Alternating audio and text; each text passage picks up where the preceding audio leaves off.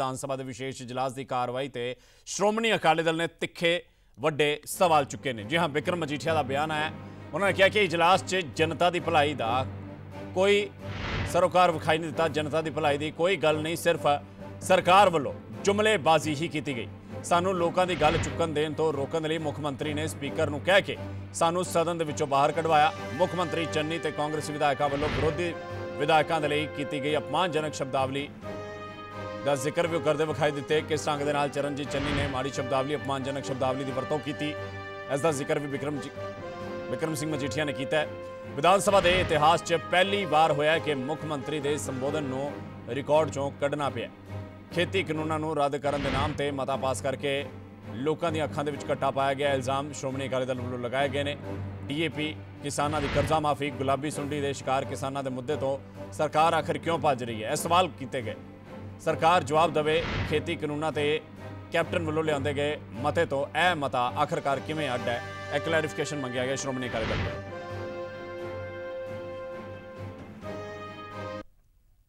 ਪੰਜਾਬ ਦੀ ਵਿਧਾਨ ਸਭਾ ਦਾ ਅਖੀਰਲਾ ਜਲਾਸ ਸੀ। ਔਰ ਬੜੇ ਅਫਸੋਸ ਨਾਲ ਕਹਿਣਾ ਪੈਂਦਾ ਹੈ ਕਿ ਕਿਵੇਂ ਲੋਕਤੰਤਰ ਦੀਆਂ ਡੈਮੋਕ੍ਰੇਸੀ ਦੀਆਂ ਧੱਜੀਆਂ ਕਿਵੇਂ ਉਡਾਈਆਂ ਗਈਆਂ? ਔਰ ਇਹ ਇਸ ਗੱਲ ਤੋਂ ਹੀ ਸਪਸ਼ਟ ਹੈ ਕਿ ਸ਼ਾਇਦ ਪਹਿਲੀ ਵਾਰੀ ਇੰਨਾ ਅਹੰਕਾਰ ਕਿਸੇ ਮੁੱਖ ਮੰਤਰੀ 'ਚ ਵੇਖਣ ਨੂੰ ਮਿਲਿਆ ਕਿ ਉਹਨਾਂ ਦੇ ਰਿਮਾਰਕਸ ਐਕਸਪੰਜ ਹੋਏ ਅੱਜ। In my term as MLA ਕਿਉਂਕਿ ਮੈਂ ਵੀ ਜਿੰਨੀ ਵਾਰੀ ਚੰਨੀ ਸਾਹਿਬ ਐਮਐਲਏ ਰਹੇ ਆ, ਮੈਂ ਵੀ ਉਨੀ ਵਾਰੀ ਐਮਐਲਏ ਰਿਹਾ। ਪਹਿਲਾਂ ਕਦੇ ਵੀ ਕਿਸੇ ਮੁੱਖ ਮੰਤਰੀ ਦੇ ਰਿਮਾਰਕਸ ਨੂੰ ਐਕਸਪੰਜ ਨਹੀਂ ਕੀਤਾ ਗਿਆ। ਔਰ ਅੱਜ ਕਿੰਨੇ ਅੰਡਰ ਪ੍ਰੈਸ਼ਰ ਸੀ ਕਿ ਮੁੱਦਿਆਂ ਦੀ ਗੱਲ ਜੇ ਕੋਈ ਕਰ ਰਿਹਾ, ਕਰਾ ਲਓ। ਜਦ ਸਵੇਰੇ ਬੀਐਸਐਫ ਤੇ ਬਹਿਸ ਹੋਈ, ਮੈਂ ਤਾਂ ਬੜੇ ਤਿੰਨ ਸਿੰਪਲ ਸਵਾਲ ਕੀਤੇ। ਔਰ ਮੇਰੇ ਸਵਾਲ ਨਹੀਂ, ਇਹ ਕਾਂਗਰਸ ਪਾਰਟੀ ਦੇ ਸਵਾਲ ਨੇ। ਕਿ ਜੇ ਤੁਹਾਡੀ ਮਨਸ਼ਾ ਸਾਫ਼ ਹੈ 5 ਅਕਤੂਬਰ ਨੂੰ ਮੁੱਖ ਮੰਤਰੀ ਸਾਹਿਬ ਹੋਮ ਮਿਨਿਸਟਰ ਨੂੰ ਮਿਲੇ। 11 ਨੂੰ ਬੀਐਸਐਫ ਦਾ ਏਰੀਆ ਐਕਸਟੈਂਡ ਹੋ ਗਿਆ। 11 ਅਕਤੂਬਰ ਤੋਂ ਅੱਜ 11 ਨਵੰਬਰ ਤੱਕ ਇੱਕ ਮਹੀਨਾ ਹੋ ਗਿਆ। ਆ ਮਨੀਸ਼ ਤਿਵਾਰੀ ਜੀ ਟਵੀਟ ਕਰਦੇ ਆ। ਕੀ ਟਵੀਟ ਕਰਦੇ ਆ? ਕਹਿੰਦੇ ਜੀ, ਇੱਕ ਆਰਟੀਕਲ 131 ਥੱਲੇ। ਹਲੇ ਤੱਕ ਕਿਉਂ ਨਹੀਂ ਸਰਕਾਰ ਨੇ ਚੈਲੰਜ ਕੀਤਾ ਇਸ ਨੂੰ ਸੁਪਰੀਮ ਕੋਰਟ 'ਚ? ਔਰ ਦੱਸੋ, ਜੇ- ਜੇ if we are really worried ਕਿ ਬੀਐਸਐਫ ਪੰਜਾਬ ਦੇ ਅਧਿਕਾਰਾਂ ਦਾ ਘਾਣ ਹੋ ਰਿਹਾ ਹੈ ਤੇ ਜੇ ਸੱਚੀ ਗੱਲ ਕਰਦੀ ਹੈ ਤੇ ਉਹ ਤੋਂ ਮਿਰਚਾਂ ਲੜਦੀਆਂ ਨੇ। ਮੈਂ ਦੂਜੀ ਗੱਲ ਕੀ ਕੀਤੀ? ਮੈਂ ਕਿਹਾ ਤੁਹਾਡੇ ਜਾਖੜ ਸਾਹਿਬ ਨੇ ਇਹ ਗੱਲ ਕਹੀ ਹੈ ਕਿ ਹਾਫ ਆਫ ਪੰਜਾਬ ਤੁਸੀਂ ਸਰੈਂਡਰ ਕਰਤਾ ਕਿ ਬੀਐਸਐਫ ਦੇ ਮੁੱਦੇ ਤੇ ਗੱਲ ਕੌਣ ਕਰ ਰਿਹਾ? ਸੁਖੀ ਰੰਧਾਵਾ ਜੀ ਹੋਮ ਮਿਨਿਸਟਰ ਸਾਹਿਬ, ਜਿਨ੍ਹਾਂ ਨੇ ਆਪ ਸਾਲ, ਡੇਢ ਸਾਲ ਪਹਿਲਾਂ ਬੀਐਸਐਫ ਨੂੰ ਜੇਲ੍ਹਾਂ ਦਾ ਚਾਰਜ ਦੇ ਦਿੱਤਾ। ਇਹ ਤਾਂ ਸ਼ੁਕਰ ਹੈ, ਮੁੱਖ ਮੰਤਰੀ ਨਹੀਂ ਬਣੇ, ਇਹਨਾਂ ਨੇ ਤਾਂ ਸਾਰਾ ਬੀਐਸਐਫ ਨੂੰ ਚਾਰਜ ਪੰਜਾਬ ਦਾ ਦੇ ਦੇਣਾ ਸੀ। ਇਸ ਲਈ ਮਨਸ਼ਾ ਜੇ ਸਾਫ਼ ਹੈ, ਮੈਂ ਇੱਕ ਬੇਨਤੀ ਕੀਤੀ get an executive order cabinet 'ਚ ਫੈਸਲਾ ਕਰੋ ਕਿ 15 ਕਿਲੋਮੀਟਰ ਤੋਂ ਬਾਅਦ ਅਸੀਂ ਬਾਰਡਰ ਸਿਕਿਉਰਿਟੀ ਫੋਰਸ ਦਾ ਸਤਿਕਾਰ ਕਰਦੇ ਮਗਰ ਉਹਦਾ ਕੰਮ ਹੈ ਬਾਰਡਰ ਨੂੰ ਪ੍ਰੋਟੈਕਟ ਕਰਨਾ। ਅਸੀਂ ਬਾਰਡਰ 15 ਕਿਲੋਮੀਟਰ ਤੱਕ ਉਹਨਾਂ ਦਾ ਸਾਥ ਦਵਾਂਗੇ, ਉਸ ਤੋਂ ਬਾਅਦ ਪੰਜਾਬ ਪੁਲਿਸ ਆਪ ਦਾ ਕੰਮ ਕਰੂਗੀ, ਪੰਜਾਬ ਦੇ ਅਧਿਕਾਰਾਂ ਨਾਲ ਖੇਲਖਾੜ ਨਹੀਂ ਹੋਣ ਦੇਊਗਾ, ਛੇੜਛਾੜ ਨਹੀਂ ਹੋਣ ਦਿੱਤੀ ਜਾਊਗੀ। ਮਗਰ ਉਹਦੇ ਤੇ ਜਵਾਬ ਕੀ ਆਇਆ? ਮੁੱਖ ਮੰਤਰੀ ਸਾਹਿਬ ਦਾ ਕਹਿੰਦੇ ਜੀ, ਤੁਸੀਂ, ਅਸੀਂ ਐਜ਼ ਐਮਐਲਏ ਸਾਨੂੰ ਕਹਿਤਾ ਜੀ, ਤੁਸੀਂ ਲਿਖ ਕੇ ਦੇ ਦਿਓ ਤੇ ਕੈਬਨਿਟ ਪਾਸ ਕਰ ਦੂ। ਫਿਰ ਗੱਲ ਕਰਤੀ, ਚਲੋ ਇੱਕ ਗੱਲ ਦੀ ਤਾਂ ਤਸੱਲੀ ਆ ਕਿ ਪਾਵਰ ਪਰਚੇਸ ਐਗਰੀਮੈਂਟ ਇਹਨਾਂ ਤੋਂ ਕੈਨਸਲ ਨਹੀਂ ਹੋਣੇ। ਔਰ ਨਾ ਇਹਨਾਂ ਦੀ ਮਨਸ਼ਾ ਕਦੇ ਕੈਨਸਲ ਕਰਨ ਦੀ। ਜੇ ਤੁਸੀਂ ਪੀਪੀਐਸ ਕੈਨਸਲ ਕਰਨੇ ਆ, ਵਿਧਾਨ ਸਭਾ ਦੀ ਲੋੜ ਨਹੀਂ, ਤੁਹਾਡੀ ਲੱਤਾਂ ਭਾਰ ਨਹੀਂ ਚੱਲਦੀਆਂ, ਨਾ ਤੁਹਾਡੇ ਤੋਂ ਬੀਐਸਐਫ ਤੇ ਐਗਜ਼ੈਕਟਿਵ ਆਰਡਰ ਦਿੱਤਾ ਜਾ ਰਿਹਾ ਕੈਬਨਿਟ 'ਚ। ਪੀ ਜੇ ਪੀਪੀਏ ਕੈਨਸਲ ਕਰਨੇ, ਤੁਸੀਂ ਕੈਨਸਲ ਕਿਨੇ ਕਰਨੇ ਆ? ਬਿਜਲੀ ਬੋਰਡ ਨੇ। ਜਾਂ ਕੈਬਨਿਟ ਨੇ। ਮਗਰ ਲੈ ਜੀ ਵਿਧਾਨ ਸਭਾ। ਸਾਨੂੰ ਬਾਹਰ ਕੱਢਤਾ ਕਿਉਂਕਿ ਇਹ ਸਵਾਲ ਹੋਣੇ ਸੀ ਆ ਕੀ ਹੋਇਆ? ਚਾਰ ਕੈਨਸਲ ਕੀਤੇ 885 ਮੈਗਾਵਾਟ ਦੇ, ਸਾਰੇ ਸਟੇ ਹੋ ਗਏ। ਕਿਉਂ ਹੋ ਗਏ ਸਟੇ ਕਿਉਂਕਿ ਇੱਕ ਪ੍ਰੋਸੈਸ ਹੈ।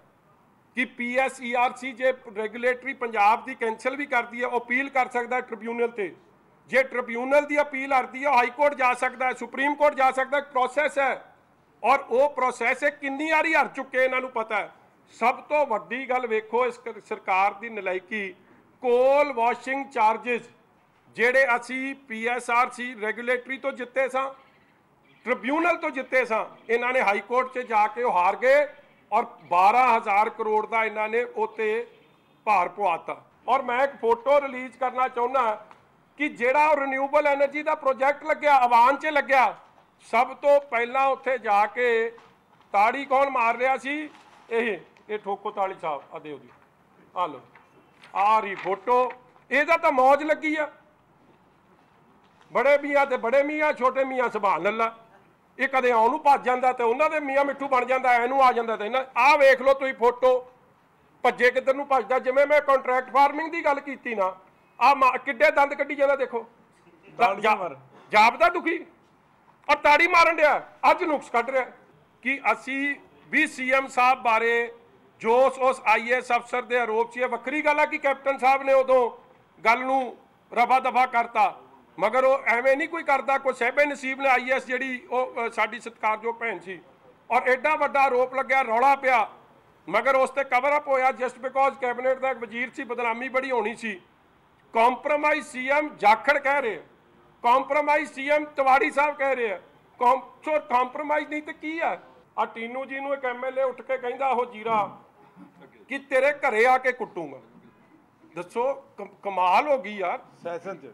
ਸੈਸ਼ਨ 'ਚ ਜਸਟ ਬਿਕੋਜ਼ ਅਸੀਂ ਲੋਕਾਂ ਦੀ ਗੱਲ ਕਰ ਰਹੇ ਹਾਂ ਔਰ ਸਪੀਕਰ ਸਾਹਿਬ ਉਸ ਗੱਲ ਤੇ ਕੁਝ ਨਹੀਂ ਕਹਿ ਰਹੇ ਔਰ ਅਸੀਂ ਅਸੀਂ ਚਾਹੁੰਦੇ ਸੀ, ਸਾਨੂੰ ਤਾਂ ਸਮਝ ਆਈ ਗਈ ਸੀ ਕਿਉਂਕਿ ਬੀਐਸਐਫ ਦੇ ਮੁੱਦੇ ਤੇ ਘੇਰਿਆ, ਅੱਗੇ ਆ ਬਿਜਲੀ ਸਮਝੌਤਿਆਂ ਤੇ ਘੇਰਨਾ ਸੀ, ਉਹਨਾਂ ਨੂੰ ਸਮਝ ਆ ਗਈ ਕਿ ਇਹਨਾਂ ਨੂੰ ਬਾਹਰ ਕੱਢੋ। ਅਸੀਂ ਗਏ ਸਪੀਕਰ ਸਾਹਿਬ ਕੋਲ ਆ, ਇਹਨਾਂ ਨੇ ਟਾਈਮ ਲਿਆ ਢਿੱਲੋਂ ਸਾਹਿਬ ਨੇ ਆਪਣਾ ਬਡਾਲਾ ਸਾਹਿਬ ਬੈਠੇ, ਆਓ ਜੀ। ਇਹ ਆਪ ਦੱਸਦੇ ਆ, ਅਸੀਂ ਜਾ ਕੇ ਇਹ ਬੇਨਤੀ ਕੀਤੀ ਕਿ ਦੇਖੋ ਅਸੀਂ ਹਾਊਸ ਚੱਲਣਾ ਚਾਹੁੰਦੇ ਹਾਂ ਬਟ ਕੀ ਤੁਸੀਂ ਸਮਝਦੇ ਹੋ ਗੱਲ ਠੀਕ ਹੈ?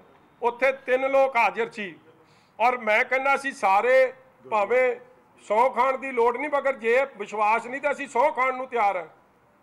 ਬ੍ਰਹਮ ਇੰਦਰਾ ਜੀ ਨੇ ਤ੍ਰਿਪਤ ਰਜਿੰਦਰ ਬਾਜਵਾ ਜੀ ਨੇ ਸਪੀਕਰ ਸਾਹਿਬ ਨੇ ਤੇ ਪ੍ਰਗਟ ਸਿੰਘ ਨੇ। ਗੁਰਦੁਆਰੇ ਚੜ ਜਾਣ ਚਾਹੀਦੇ। ਅਸੀਂ ਗੁਰਦੁਆਰੇ ਚੜਾਂਗੇ। ਅੰਦਰ ਇਹ ਗੱਲ ਕਹੀ ਕਿ ਜੋ ਭੱਦੀ ਸ਼ਬਦਾਵਲੀ ਮੁੱਖ ਮੰਤਰੀ ਨੇ ਵਰਤੀ ਆ, ਸਾਨੂੰ ਉਹਦਾ ਅਫਸੋਸ ਹੈ। ਅਸੀਂ ਇਸ ਗੱਲ ਦੀ ਮਾਫੀ ਮੰਗਦੇ ਕਈ ਕਿ ਨਹੀਂ ਗੱਲ ਕਹੀ ਮੈਂ ਤਾਂ ਅੱਜ ਬੇਨਤੀ ਕਰਦਾ ਤੁਹਾਡਾ ਮਸਲਾ ਦਿਓਲ ਸਾਹਿਬ ਨਹੀਂ ਹੱਲ ਕਰ ਸਕਿਆ ਜੇ ਜੀ। ਤੁਸੀਂ ਠੋਕੋ ਤਾਲੀ ਨੂੰ ਲਾ ਦਿਓ ਜੀ। ਇਹ ਭਗਵੰਤ ਸਿੰਘ ਦਾ, ਉਹੀ ਭਗਵੰਤ ਸਿੰਘ ਦਾ ਮੁੰਡਾ ਜਿਹੜਾ ਨਿਰੰਕਾਰੀਆਂ ਲਈ ਪੇਸ਼ ਹੋਇਆ ਸੀ, ਇਹਨੂੰ ਲਾ ਦਿਓ। ਇਹੀ ਕੇਸ ਲੜੇ ਆ ਕੇ। ਔਰ ਜੇ ਤੇ ਜ- ਭਗਵੰਤ ਸਿੰਘ ਦਾ ਪੁੱਤ ਹੈ ਨਾ 18 11 ਨੂੰ ਫਿਰ ਹਾਈ ਕੋਰਟ ਆਵੇ ਉੱਥੇ। ਕੋਈ ਫਾਇਦਾ ਨਹੀਂ ਹੈ ਫਜ਼ੂਲ ਦੀਆਂ ਗੱਲਾਂ ਦਾ। ਲੋਕਾਂ ਦਾ ਟਾਈਮ ਵੇਸਟ ਦਾ। ਕੋਈ ਪੰਜਾਬ ਦਾ ਭਲਾ ਨਹੀਂ ਹੋ ਰਿਹਾ ਇਹਦੇ ਨਾਲ। ਅਸੀਂ ਤਾਂ ਆਪ ਅੱਜ ਪੁੱਛਦੇ ਸੀ ਠੋਕੋ ਤਾਲੀ ਨੂੰ ਕਿ ਬਾਈ 'ਚ ਵੀ ਇਹ ਚਿਹਰਾ ਹੋਊ ਕਿ ਨਹੀਂ ਹੋਊ? ਚਿਹਰਾ ਉਹ ਤਾਂ ਗੱਲ ਤੇ ਹੀ ਨਹੀਂ ਆਇਆ ਕੋਈ। ਅਸੀਂ ਬੜਾ ਪੁੱਛਿਆ ਕਿ ਚਿਹਰਾ ਹੀ ਦੱਸ ਦਿਓ ਤੁਹਾਡਾ ਕਿਹੜਾ ਅਗਲਾ। ਕਿ ਇਹਨੂੰ ਬਣਾਉਂਦੇ ਹੋ ਕਿ ਨਹੀਂ? ਉਹ ਗੱਲ ਤੇ ਨਹੀਂ ਆਏ ਮਗਰ ਤੁਸੀਂ ਕੀ ਸਮਝਦੇ ਹੋ ਕਿ ਕਿਸੇ ਨੂੰ ਕਹੋ ਮੈਂ ਤੇਰੀਆਂ ਲੱਤਾਂ ਭੰਨ ਦੂੰ। ਕਿਸੇ ਨੂੰ ਕਹਿੰਦੇ ਹੋ ਕਿ ਮੇਰੇ ਬਾਰੇ ਮਾੜੀ ਸ਼ਬਦਾਵਲੀ ਵਰਤ ਕੇ ਕਿ ਤੁਸੀਂ ਅਸੀਂ ਮੁੱਦੇ ਨਹੀਂ ਲੋਕਾਂ ਦਾ ਉਠਾਵਾਂਗੇ। ਅਖੀਰ 'ਚ ਪਰਚੀ ਲਿਖ ਕੇ ਭੇਜੀ। ਮੈਂ ਆਪ ਉਹ ਪਰਚੀ ਪੜੀ ਮੈਂ ਨਾਲ ਖੜਾ ਸੀ ਕਿ ਇਹਨਾਂ ਨੂੰ ਬਾਹਰ ਕੱਢੋ। ਸਪੀਕਰ ਸਾਹਿਬ ਨੂੰ ਪਰਚੀ ਜਾ ਰਹੀ ਹੈ। ਉਹ ਜਿਹੜਾ ਸੈਕਟਰੀ ਹੈ, ਉਹ ਜਿਹੜਾ ਇੱਕ ਡੋਲੇ ਜੇ ਵਾਲਾ ਇੱਕ ਉੱਥੇ ਹੈਗਾ ਤੇ ਬਾਅਦ ਚ ਲਾਲ ਜਿਹਾ ਬੰਨ ਕੇ ਰੱਖਦਾ ਮੁੰਡਾ, ਦਾੜੀ ਜੀ ਕਟਵੀ ਹੈ। ਹੈ? Marshal marshal. ਉਹ ਉਹਨੂੰ ਸੱਦਿਆ ਗਿਆ। ਉਹ ਆਇਆ, ਉਹਨੂੰ ਚਿੱਟ ਦਿੱਤੀ, ਉਹ ਸੈਕਟਰੀ ਕੋਲ ਗਿਆ। ਸੈਕਟਰੀ ਨੇ ਉੱਠ ਕੇ ਕੰਨ 'ਚ ਫੂਕ ਮਾਰੀ ਤੇ ਸਪੀਕਰ ਸਾਹਿਬ ਵੀ ਹੱਸਦੇ ਹੱਸਦੇ ਕਹਿੰਦੇ, ਹੁਣ ਮੇਰੀ ਮਜਬੂਰੀ ਬਣ ਗਈ। ਹੁਣ ਮੇਰੀ ਮਜਬੂਰੀ ਬਣ ਗਈ। ਮੈਂ ਕਮਾਲ ਹੈ ਜੀ। ਲੋ ਤੋਂ ਮੈਨੂੰ ਸਮਝ ਆਉਂਦੀ ਹੈ ਕਿ ਸਪੀਕਰ ਸਾਹਿਬ ਨੇ ਵੀ ਕਾਂਗਰਸ ਦੀ ਟਿਕਟ ਲੈਣੀ ਹੈ ਮਗਰ ਫਿਰ ਹਾਊਸ ਦੀ ਤਾਂ ਕੋਈ ਗਰੀਮਾ ਨਹੀਂ ਰਹਿ ਗਈ।